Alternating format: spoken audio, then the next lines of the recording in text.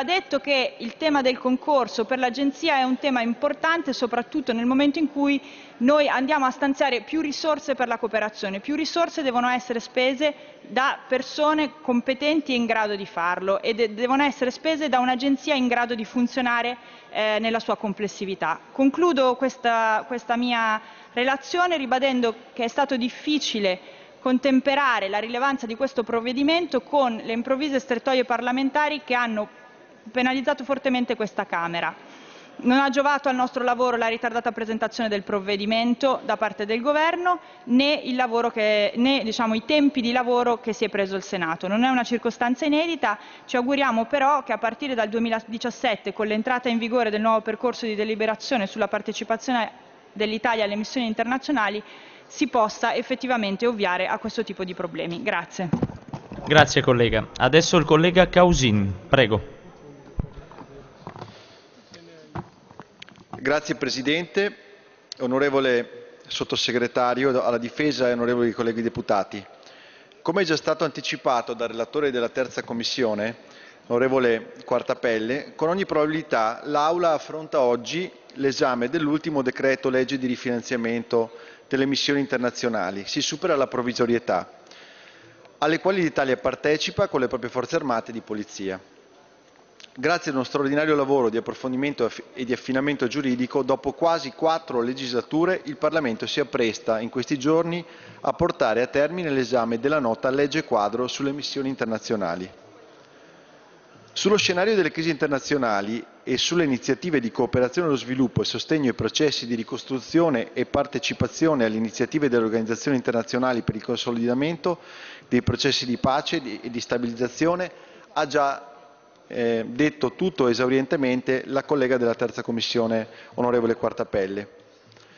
Mi soffermerò pertanto sulle disposizioni che interessano più da vicino le competenze della Commissione Difesa, che sono contenute nel capo primo del decreto, dagli articoli 1 all'articolo 7. In particolare l'articolo 1, 2 e 3 recano le autorizzazioni di spesa dal 1 gennaio 2016 al 31 dicembre 2016 necessarie alla proroga del termine per la partecipazione italiana alle missioni internazionali delle forze armate e di polizia, raggruppate sulla base di criteri geografici, come è tradizione. Rispetto al precedente provvedimento di proroga, decreto legge 174 del 2015, che aveva disposto per il periodo dal 1 ottobre al 31 dicembre 2015 e quindi solo per tre mesi il, il decreto legge in esame prevede invece il rinnovo per l'intero anno 2016. Se dunque la legge quadro che l'Assemblea discuterà nei prossimi giorni sarà finalmente approvata dalle Camere entro la fine dell'anno, per la prima volta il nostro Paese si doterà di un quadro normativo complessivo, organico e permanente per la disciplina dei diversi e complessi profili che regolano l'invio dei nostri militari fuori dai confini nazionali, e questo sarà dunque l'ultimo decreto legge di proroga delle missioni. Fatta questa premessa rilevo in primo luogo che l'onere complessivo per il rifinanziamento delle missioni, comprensivo degli interventi per il sostegno ai processi di pace e per la cooperazione e lo sviluppo ed escluse le spese relative agli interventi di sicurezza interna di cui all'articolo 4,11 che prevedono una copertura autonoma, ammontava nel testo iniziale del Governo a circa 1 miliardo e 272 milioni di euro sostanzialmente quindi in linea con le spese relative all'anno precedente. Tale onere è ora aumentato a circa 1 miliardo e 291 milioni di euro per l'effetto degli emendamenti approvati durante la lettura del decreto al Senato.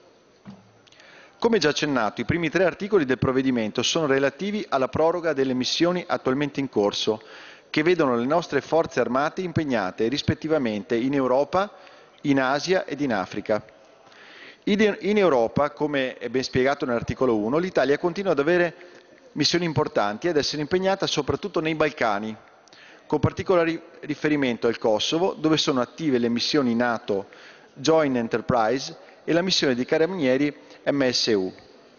e la missione civile dell'Unione Europea Eulex Kosovo, per una spesa complessiva di circa 78 milioni di euro, con un decremento di poco più di 6 milioni di euro rispetto alla somma stanziata nel 2015.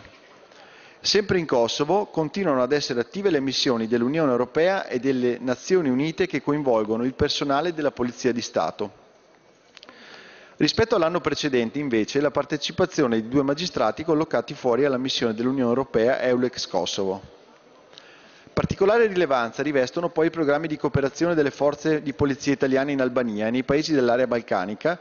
dove viene autorizzata una spesa di quasi 6 milioni di euro, sostanzialmente in linea con lo stanziamento del 2015.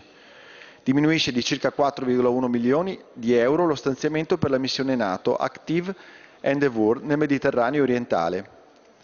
adesso di poco superiore a 19 milioni di euro, mentre aumenta di circa 10,3 milioni di euro quello per la missione militare dell'Unione Europea EUNAVFOR Med Sofia, che si attesta dopo la modifica introdotta al Senato, a circa 70,3 milioni di euro. Un emendamento dei relatori approvato dall'Aula del Senato ha infatti aumentato ai 506 mila euro l'autorizzazione di spesa per tale missione, al fine di fornire al governo libico un'attività di addestramento della Guardia Costiera. Minori ma pur importanti contributi si registrano per la proroga della partecipazione del personale della Polizia di Stato in Bosnia, nonché per la prosecuzione della partecipazione di personale militare alla missione delle Nazioni Unite a Cipro. L'articolo 2 proroga la partecipazione delle missioni in Asia, tra le quali si rileva in primo luogo l'intervento in Afghanistan, che vede un leggero decremento di risorse rispetto all'anno scorso, circa 179 milioni di euro rispetto ai 185 del 2015. Rilevano altresì gli, inter- gli, interventi in Libano con circa 155,6 milioni di euro, anch'essi in diminuzione rispetto allo scorso anno, e soprattutto per il contrasto all'attività terroristica del Daesh, che registra un significativo incremento di risorse, circa 236 milioni di euro rispetto ai quasi 200 del 2015, e che comprende a decorrere dal 1 aprile 2016 sia un dispositivo di recupero del personale di 137 unità, sia un team di circa 100 militari incaricato questo delle attività propedeutiche alla Force Prospection nell'area di Mosul,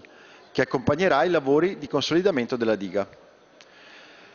Tale stanziamento è stato ulteriormente incrementato di circa 17,5 milioni di euro per l'invio di 400 uomini alla protezione della diga di Mosul. Sempre il Senato ha approvato un emendamento che precisa che le somme stanziate per il contrasto al Daesh dovranno essere utilizzate anche per fornire aiuti umanitari alla popolazione civile. Ulteriori interventi disposti all'articolo 2 si riferiscono all'impegno di personale militare per il supporto delle missioni in Asia e in Medio Oriente, all'impiego del personale militare volontario della Croce Rossa italiana e alla proroga della partecipazione di personale militare per le missioni in Palestina e ad Herat. Ulteriori interventi disposti all'articolo 2 e sempre in Palestina continua la partecipazione di personale della Polizia di Stato e di due magistrati collocati fuori ruolo in due missioni, Europol Cops di assistenza alla Polizia Civile palestinese. L'articolo 3 riguarda le missioni in Africa, tra cui spicca la missione antipirateria At- Atlanta dell'Unione Europea,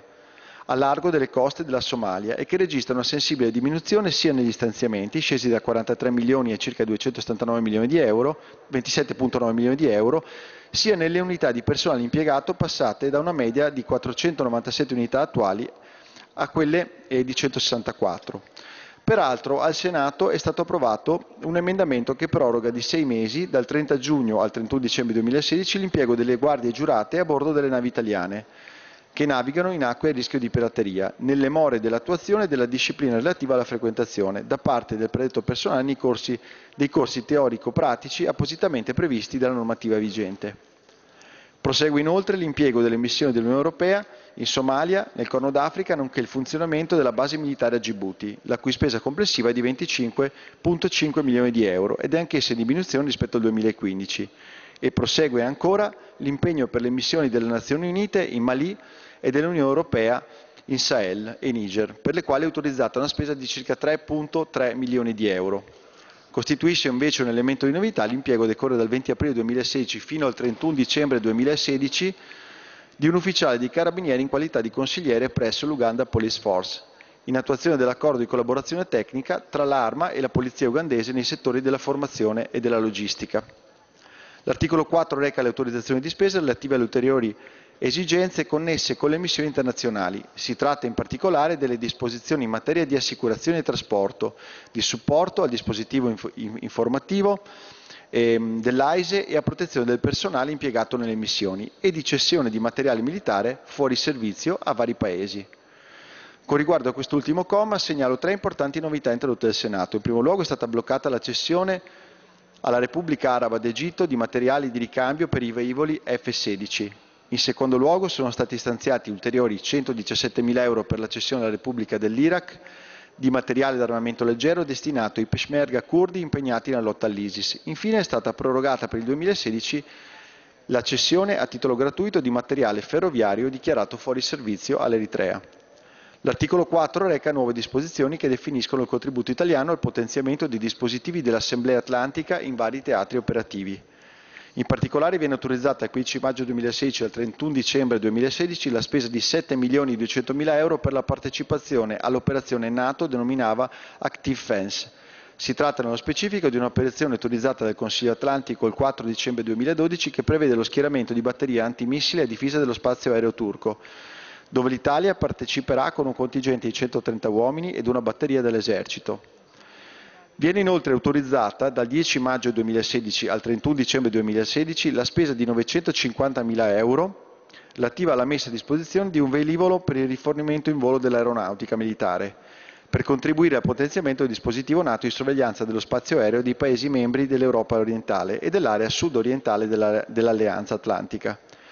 Da ultimo, l'autorizzazione per contribuire al potenziamento del dispositivo NATO di sorveglianza navale nell'area dell'Alleanza attraverso l'impiego di unità cacciamine, inizialmente prevista dal decreto legge fino al 30 giugno 2016, è stata dal Senato prorogata fino al 31 dicembre 2016.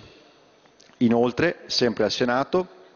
è stata introdotta un'ulteriore disposizione al fine di garantire l'interoperabilità e l'uniformità delle misure per la conservazione in sicurezza del munizionamento degli esplosivi che, impie- che impegna le forze armate ad applicare le direttive emanate dall'autorità militare nazionale in conformità con le procedure tecnico-operative adottate dalle organizzazioni internazionali alle quali l'Italia partecipa. Segnalo poi che l'articolo 4,7 autorizza la spesa di 90,2 milioni di euro per la proroga dell'operazione nazionale Mare Sicuro, già autorizzata ai due precedenti decreti missioni.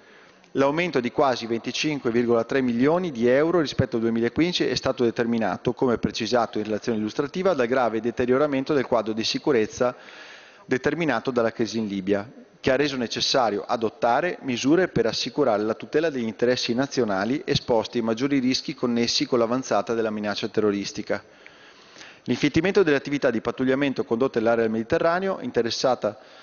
dalle principali rotte di comunicazione, prosegue la relazione, determinerà una maggiore protezione a mare, segnatamente in riferimento al rischio di aumento di traffici illeciti condotti in mare.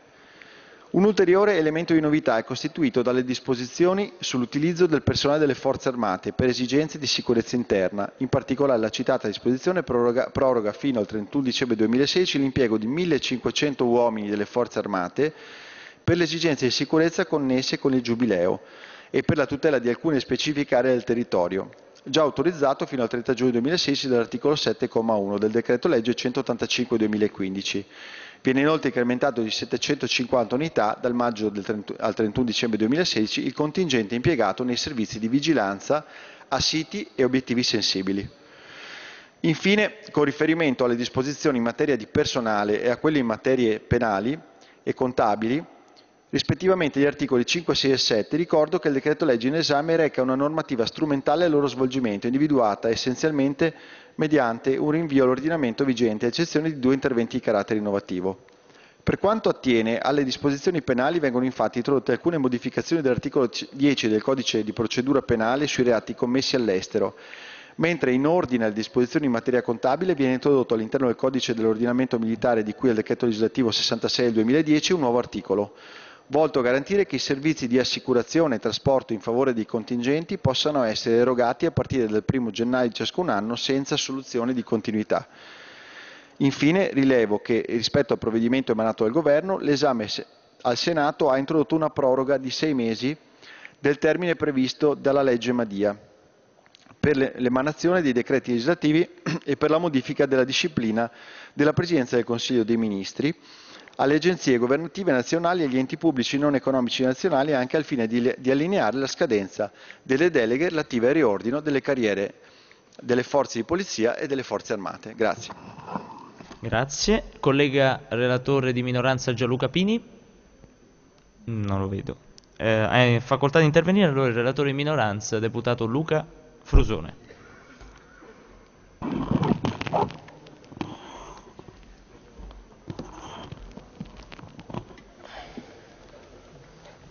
Grazie Presidente.